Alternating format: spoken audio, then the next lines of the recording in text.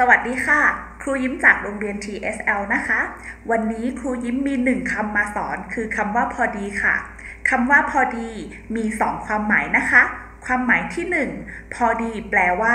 ไม่มากเกินไปและไม่น้อยเกินไป ตัวอย่างเช่น ชานมไข่มุกร้านนี้ หวานพอดี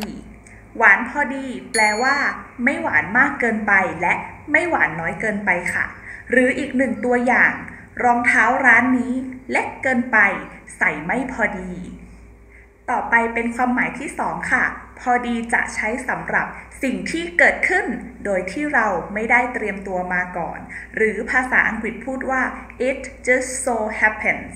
ตัวอย่างเช่น พอดีฉันและคุณฮินาโกะเจอกันที่หน้าโรงเรียน เราก็เลยเดินมาด้วยกัน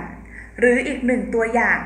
ขอบคุณค่ะที่คุณทำขนมมาให้ ฉันกำลังอยากกินพอดี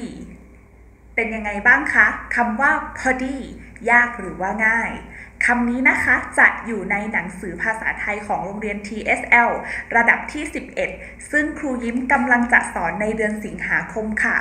ใครที่อยากเรียนคำศัพท์ใหม่ๆ ฝึกพูดและฝึกอ่าน บทความที่น่าสนใจ รวมถึงทำแบบฝึกหัดภาษาไทยสนุกๆด้วยกัน มาเรียนภาษาไทยระดับที่ 11 กับครูยิ้มในเดือนสิงหาคมได้นะคะ แล้วเจอกันในห้องเรียนค่ะขอบคุณค่ะ บ๊ายบาย